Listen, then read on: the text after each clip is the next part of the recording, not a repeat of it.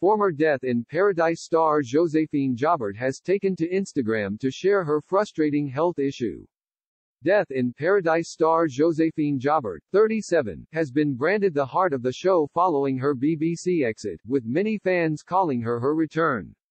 Meanwhile, the former BBC actress has taken to Instagram to share a very frustrating health issue that has left her unable to exercise. Josephine opened up on her health to her 105,000 Instagram followers. Alongside a blurred selfie, she captioned the picture, not too much to post and share right now. I have foot pain so I can't really exercise, so frustrating. I work on my projects and don't go out much. So I read and shared your sweet messages and I noticed that you enjoy so many replays of Death in Paradise and other French series. That's so cool. And know that I am not far and that everyone is fine. The actress, who played D.S. Florence Cassell, made her exit from the fictional island of Sainte Marie last year. The DS was forced to leave the island for her own safety after taking on an undercover assignment.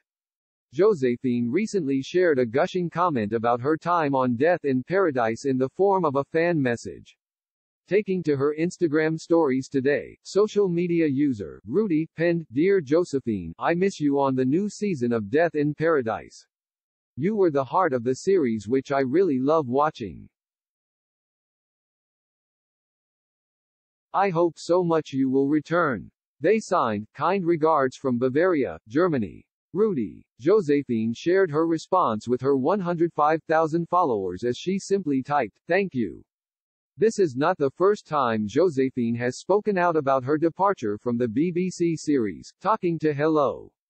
Last year, she said, I already left in Series 8, I thought it would be for good, honestly, I thought, I am done. Then they asked me back for Series 10 and I was like, hum I don't know. Okay I am going to do it. But I knew it wouldn't be forever, I knew it. How long, I didn't know. I had an idea but I wasn't sure. Josephine added, Series 10 was so good and we ended the series on a big cliffhanger between Neville and Florence. But I couldn't come back, it would have been unfair, but I knew it would be just four episodes, to finish the story between the two characters and to be fair to the audience and respect them and that they follow the series.